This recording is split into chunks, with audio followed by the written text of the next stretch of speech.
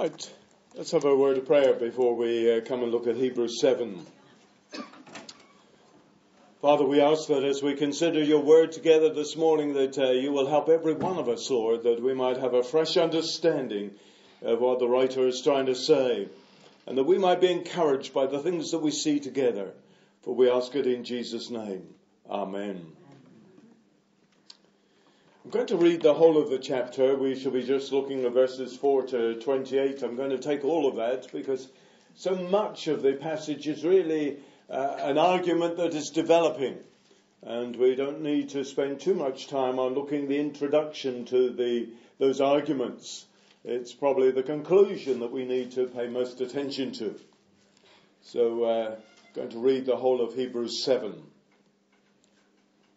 For this Melchizedek, king of Salem, priest of God, uh, Most High God, who met Abraham as he was returning from the slaughter of kings and blessed him, to whom also Abraham apportioned a tenth part of all the spoils, was first of all by the translation of his name, King of Righteousness, and then also King of Salem, which is King of Peace. Without father, without mother, without genealogy, having neither beginning of days nor end of life, but made like the Son of God, he remains a priest perpetually. Now observe how great this man was, to whom Abraham the patriarch gave a tenth of the choicest spoils. And those indeed of the sons of Levi who receive the priest office have commandment in the Lord to collect a tenth from the people, that is, from their brethren, although these are descended from Abraham. But the one whose genealogy is not traced from them collected a tenth from Abraham and blessed the one who had the promises. But without any dispute, the lesser is blessed by the greater.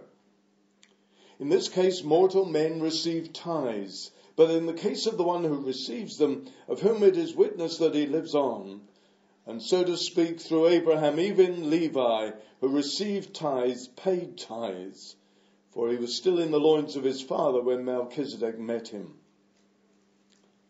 Now, if perfection was through the Levitical priesthood, for on the basis of it the people received the law, what further need was there for another priest to arise according to the order of Melchizedek, and not be designated according to the order of Aaron?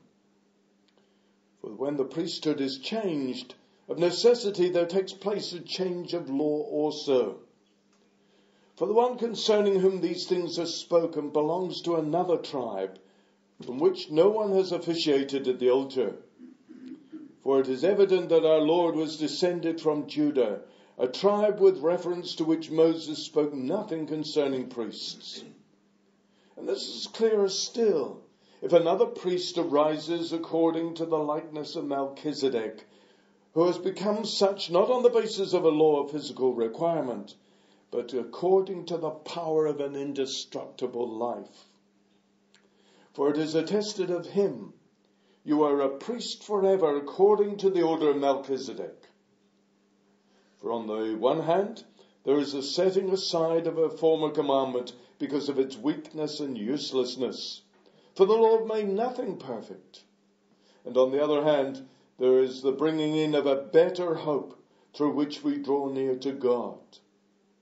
And inasmuch as it was not without an oath, for they indeed became priests without an oath, but he with an oath through the one who said to him, The Lord has sworn and will not change his mind. You are a priest forever. So much the more also Jesus has become the guarantee of a better covenant. The former priests on the one hand existed in greater numbers because they were prevented by death from continuing. But Jesus, on the other hand, because he continues forever, holds his priesthood permanently. Therefore, he is able to save forever those who draw near to God through him, since he always lives to make intercession for them. For it was fitting for us to have such a high priest, holy, innocent, undefiled, separated from sinners, and exalted above the heavens who does not need daily, like those high priests, to offer up sacrifices, first for his own sins and then for the sins of the people, because this he did once for all when he offered up himself. For the law appoints men as high priests who are weak, but the word of the oath which came after the law appoints a son made perfect forever. Really those last three verses that are the, the main point, the conclusion of it all. Uh, but we begin with certain things that we do need to consider. And uh, we're very much looking at a superior priesthood this morning. A superior priesthood. The fact is that uh, you remember right the way through the book of Hebrews that the writer is pointing out that that new covenant that we have in Jesus, the whole work that Jesus has done is superior to anything that has gone before. Remember in the first chapter, he said that God has spoken in many ways in the past, but in these last days he has spoken by his Son. And nobody is greater than the Lord Jesus Christ, the Son of God. Even when angels had brought something of a message, Jesus was far superior to them. At no time had God said, This is your throne to the angels, as he said to the Son. So we trace that through right at the beginning, and really right the way through, he is attempting to show that what has happened in Jesus is far greater than anything that has gone before. Here we'll see that uh, actually he's pointing out that Jesus is greater even than Abraham. And for the Jews, he was the father of their nation. He was the, the father of their religion. So much had begun by Abraham. They even looked back to him to see that he was a man who walked by faith. And God counted that as righteousness. Even a picture for us today that we cannot earn our own salvation. It is simply faith in the Lord Jesus Christ that saves us and what he's done for us at Calvary.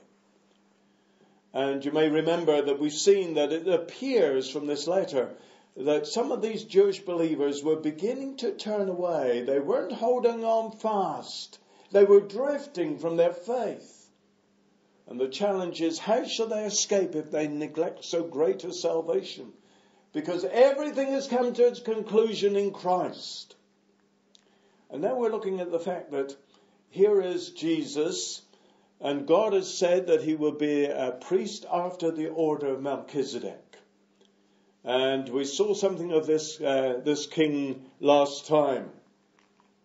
Just to recap, uh, that in Genesis 14 we, we saw Melchizedek, it's the only place he's mentioned. There's certain things that we discovered that he, his name means king of righteousness. Melech is king, Zedek is righteousness. So he's the king of righteousness.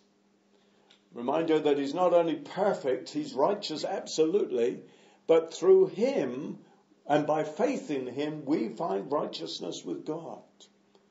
Then he was king of Salem, which means king of peace.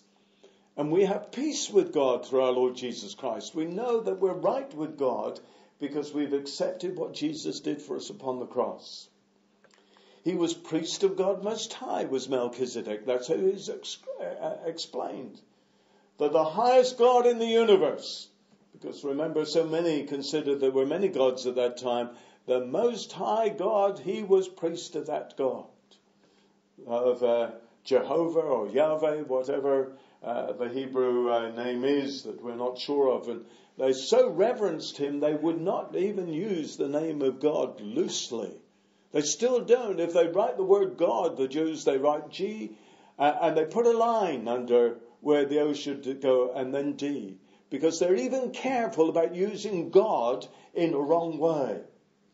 And perhaps we need to show a little bit more concern of how we use uh, expletives. And uh, we shouldn't use the name of God in any loose way. But uh, there he was. He was the priest of God Most High.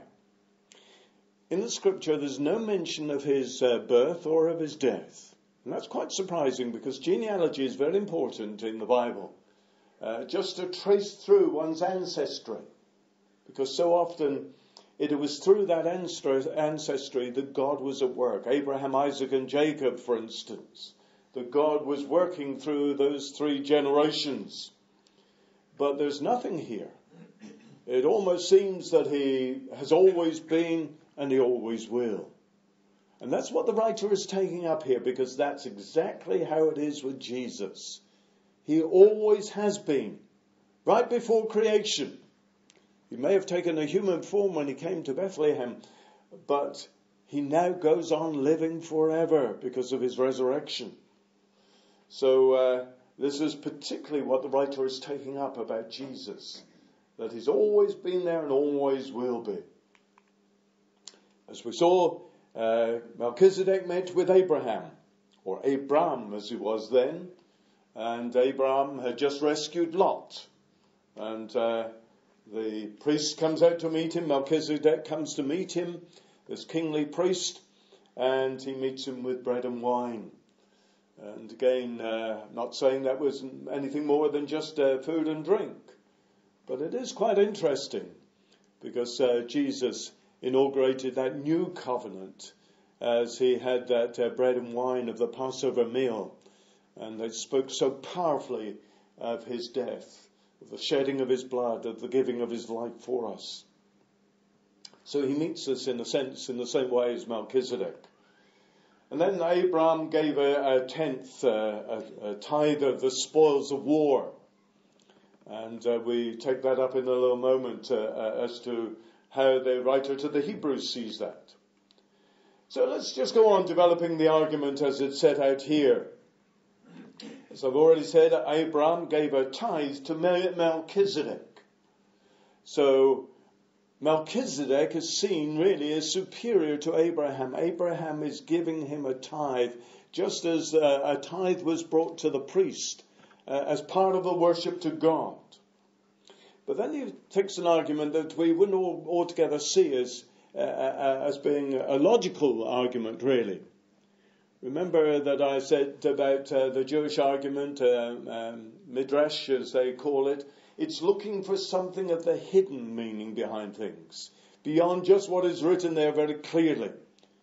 And the writer is using something of that uh, Jewish argument, that Hebrew argument. And he says, Abraham eventually gave birth to uh, Levi, who became the priestly tribe. And Aaron, of course, was the, the beginning of that, uh, uh, or the, the son of uh, Levi. And he became the first high priest. And tithes were given to them. And what he's arguing is, in a sense, in Abraham's body was the generations to come. So Abraham, uh, so Melchizedek received a tithe not only from Abraham, but in effect from the Levitical priests that were to follow. As I say, that probably doesn't altogether fit in with our thinking, uh, but that's what he's saying. So he's saying this, this Melchizedek is even superior to the, the Levitical priests because he has received gifts from them. He's superior.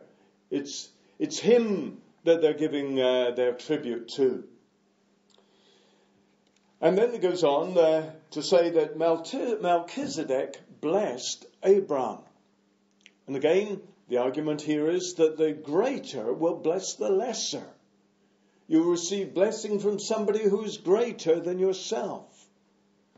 So here again, Melchizedek is seen as greater than even Father Abraham to whom they gave so much allegiance, and sometimes almost wrongly so. So we're seeing this argument built up that Melchizedek is bigger than anything that went on in the priesthood to follow. We talk about the Levitical priesthood, meaning those priests that were of the tribe of Levi.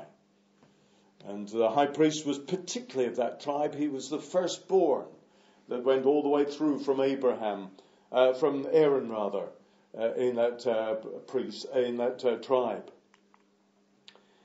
And then it says the Levitical priesthood was not perfect. It says for a start, they weren't perfect.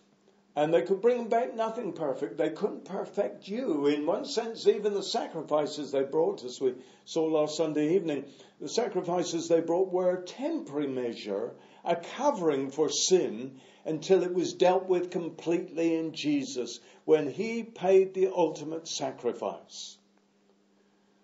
So here is a priesthood that was temporary, that wasn't perfect, waiting really for that complete priesthood in Jesus. Talks about a new priesthood arising of the order of Melchizedek. And this particularly comes from Psalm 110. We looked at it last time, just that uh, verse, uh, or those four, first four verses. The Lord said to my Lord, Sit at my right hand until I put your enemies under your feet. Very clearly, the Jews of Jesus' time knew that this was referring to the Messiah. The God the Lord said to the Lord Jesus Christ, it's Yahweh saying to Adonai, so there is a difference in the Hebrew. It's plainly saying that Yahweh, God Almighty, said to, to the Lord Jesus Christ, to the Messiah, Sit at my right hand until I put all enemies under your feet. And we believe that is happening. That Jesus is now at the right hand of God. And the time will come when every opponent of the Lord Jesus Christ will be dealt with, including Satan himself. And that's, of course, how the Bible ends. But it goes on that psalm, which they recognize very clearly was speaking of the Messiah to come, that you are a priest forever after the order of Melchizedek. So God is, when he uh, inspires David to write that psalm, shows that there would be a different sort of priesthood, which was not like the priest of Levi, that Levitical tribe, but would be something different, and that it would be something eternal, that uh, because we don't see of his birth or his death. There would be something that was quite different, and he would be a king, because Melchizedek means uh, king of righteousness. And of course, the psalm begins by seeing him reigning at God's right hand. And of course, in the Old Testament, you had never seen a king who was priest. A couple tried it on. And one of the priests, uh, uh, one of the kings actually ended up with leprosy because he was usurping power that God had never given him. But no priest had ever become king either. So this is absolutely unique that God is promising. That one who would reign would also be priest. And of course, we believe all of that was fulfilled in the Lord Jesus Christ. Goes on to say, Our Lord was from the tribe of Judah not from the tribe of Levi. This is the kingly tribe. This is David's tribe.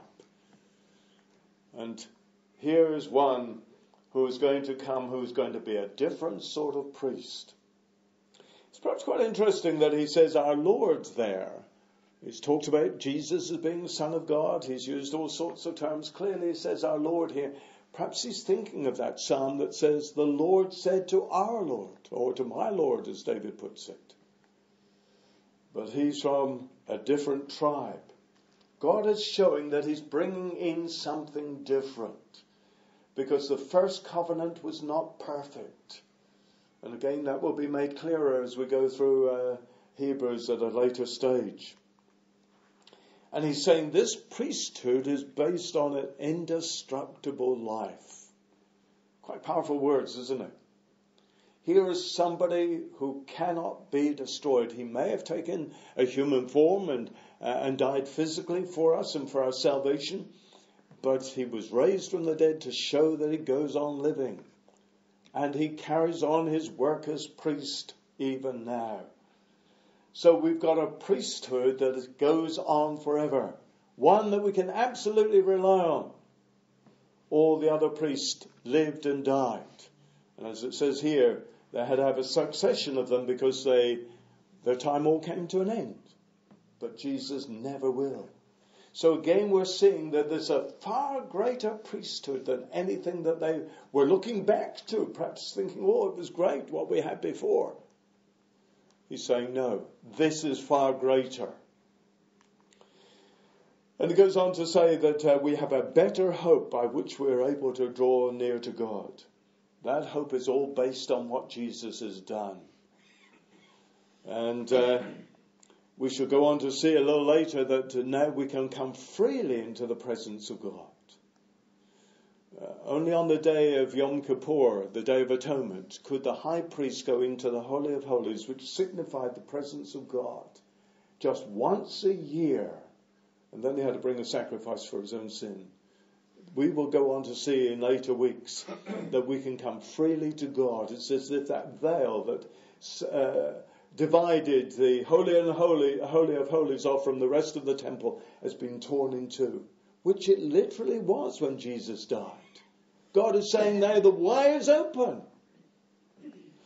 And you may remember when we finished uh, chapter 6, it talks about Jesus has entered for us, having gone through the veil, right into the presence of God, who is a high priest forever according to the order of Melchizedek. He also says, This hope we have is an anchor of the soul, a hope both sure and steadfast, and one which enters within the veil. Jesus has gone right into the Holy of Holies in heaven so that we may have an absolute certainty that we can have salvation through him. In a sense, you didn't have that in the Old Covenant. You brought your sacrifices, you went through the Day of Atonement, uh, but it was really just a covering until the thing was complete in Christ. And what is more, this was established by God's oath. God has said, as we see there in uh, verse 21, the Lord has sworn and will not change his mind. You are a priest forever, according to the order of Melchizedek. The Lord will not change his mind. Remember again in Hebrews 6, we saw that the Lord made promises to Abraham and he swore by himself because you couldn't swear by anyone greater. And it goes on to say there were two unchangeable things God's word that could not change. The oath remained absolutely unbreakable. And God who did not change. The greatness of God. The promise to Abraham was therefore sure. We have that same idea here. God has sworn. He does not change his mind. He knows what is necessary. And Jesus is a priest forever. And I've put there in brackets Psalm 110 and verse 4 because that's what's being quoted uh, there. You may like to look sometime at Psalm 110. And so he ends in verse 22 that uh, we have a, a, a, better covenant. He says, uh, so much uh, the more, also Jesus has become the guarantee of a better covenant. If this priesthood is forever, then this this assurance of salvation is forever for those who believe in the Lord Jesus Christ, who put their trust in Him. So that's the developing argument here. And I've uh, summarized it just to make it easy because some of it isn't uh, easy to pick up as we read it through. But I hope you can see something of what he's saying. He's saying, really, everything is so much better in Jesus. Why would you hearken back all the time to the things as they were, to the old covenant, to the priesthood and the sacrifices, when Jesus has fulfilled all that? In fact, uh, I can't quite remember where it was now. Uh, yes, I think we were seeing last Sunday night in um, uh, in Hebrews 10, where it says, uh, "These things are only a shadow of the reality to come." Uh, shadow, uh, you see perhaps somebody passing along the road, you see the shadow coming, but then you see the person. One is a vague outline. The person, when they come, is a reality. In the Old Covenant, we see an outline of something that was to come. The shape is there, but the actual completion, the fulfillment, the reality, the, the, the, the clearness, the clarity is all seen in Jesus. So if we look at the Old Covenant, we can thank God that God made some provision for the Jewish people, but it was only a picture of what is to follow in Jesus. And in Jesus, it's so much greater. I hope you've uh, followed at least something of those arguments. It's not altogether easy to follow in one sense, and uh, uh, this book has, brings many challenges, but equally sometimes uh, because of our lack of familiarity with Jewish things, we don't cotton on quite so quickly. But we come to the matter of a, the perfect priest. And the first thing he says in, in verse uh, 23 and uh, 24 is the former priests, on the one hand, existed in greater numbers because they were prevented by death from continuing. But Jesus, on the other hand, because he continues forever, holds his priesthood permanently.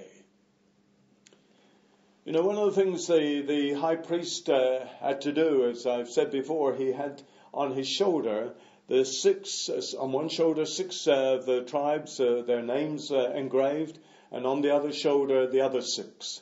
So that, as it were, he was bearing them up before God.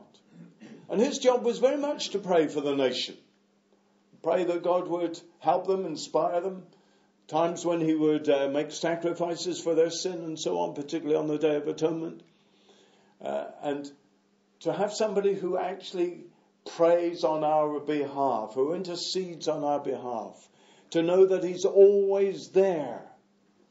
You know, earlier on he said that, um, again, if I can find the, the, right chapter, it's the end of chapter 3, I think. Um, yes, uh, therefore he had to be made like his brethren. He took a human form like us uh, to be the high priest, as it were, to make propitiation for the sins of the people. For since he himself was tempted in that which he suffered, he is able to come to the aid of those who are tempted. And then it goes on in the uh, end of chapter 4. For we do not have a high priest who cannot sympathize with our weaknesses, but one who has been tempted in all things as we are, yet without sin. Therefore let us draw near with confidence to the throne of grace, that we may receive mercy and find grace to help in time of need. So it's showing that this high priest Jesus is there permanently. He's always there, day and night. Doesn't matter what our problems might be. He'll be there, and uh, if the world lasts another thousand years, and I don't think it will for one moment, he'll still be there as our high priest. He has a permanent priesthood. We can keep on coming back to him and ask for help in all that we face. You might get very used to one priest uh, who was officiating in the temple. But one day you would hear of his death. You couldn't go to him any longer. But we can always go to Jesus. That's the point that he's making here. It's an eternal priesthood. Goes on to say that he is able to save forever or completely. In verse 25, therefore he is able to save forever those who draw near to God through him, since he always lives to make intercession for them. He is able to save forever. There perhaps comes a day when we recognize that we are sinners. We don't like to hear that. We don't like to be told we're not perfect, that we've sinned. Uh, but the fact is, we all have. And we need a Savior. Jesus is that Savior. And part of what he did was to offer his life as a sacrifice for sin. But what is more, then, he has gone before the Father and said, in effect, I have suffered in their place. Now they are accepting what I did for them on the cross. Lord, will you save them and break into their lives? Jesus is not only a priest, but he's a savior, one who can save utterly and completely.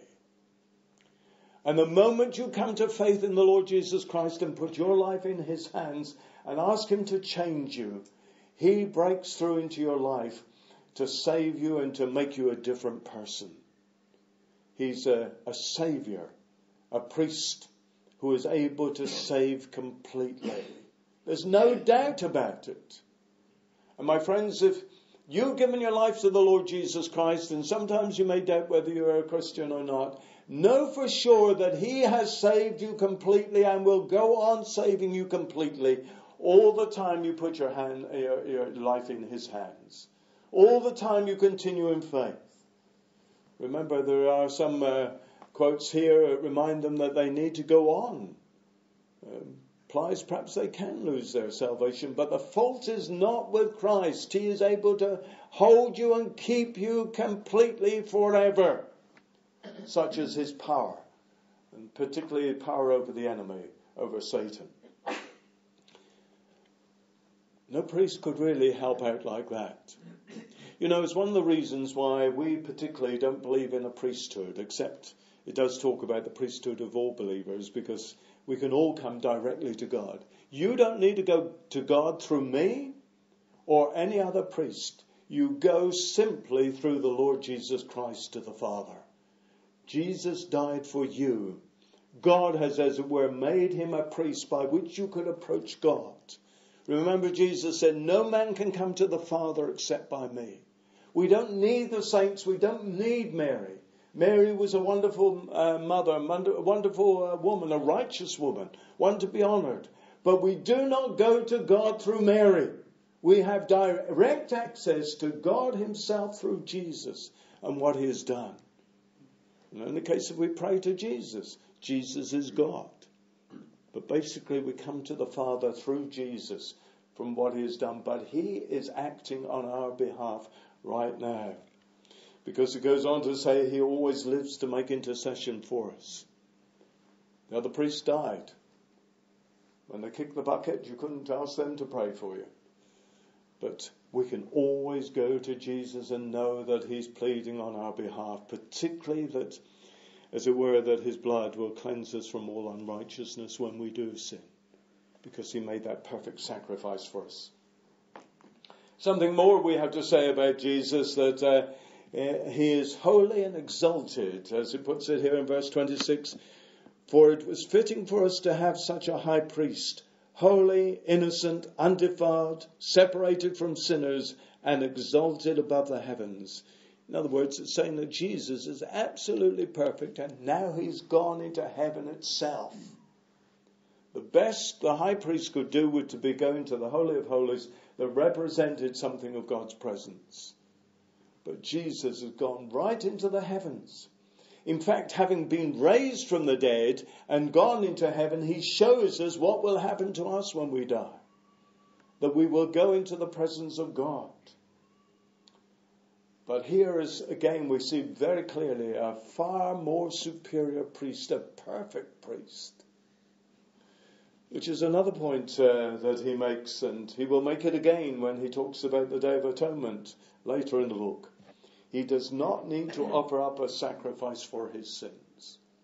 All the other priests had to. Before they could even offer up a sacrifice for somebody else, particularly on the Day of Atonement, they had to offer a sacrifice for their own sin. Jesus is perfect.